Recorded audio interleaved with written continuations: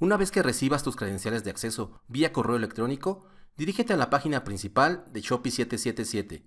Teclea tu correo electrónico e ingresa tu contraseña. Das clic en el botón Ingresar. Lo primero que vas a ver es tu escritorio y del lado izquierdo el menú principal.